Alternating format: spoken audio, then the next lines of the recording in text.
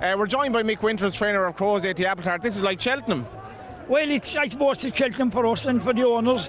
Like he's a enigmatic kind of a horse that he's he you know we think he wants a way better ground.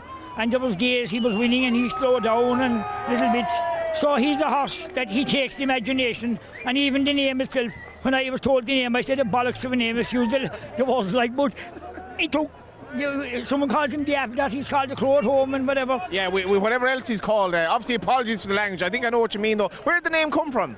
Well, it is a big long story. There was two ants in the owner got an apple at each, and they were left up in the windowsill, and, and one of them got none because the crows ate it. Yeah, well, it happens to us the best of us, in fairness. Mick, look at the crowd here today and the, the, the owners and connections. What a day to actually win at Limerick. Well, that's it. Well, in fairness, the students, they're, they're running a lot, lot better now, and it's fantastic, and the noise.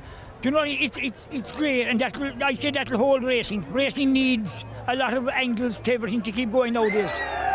Well done. Thank you very much. Watch live racing now on racingtv.com.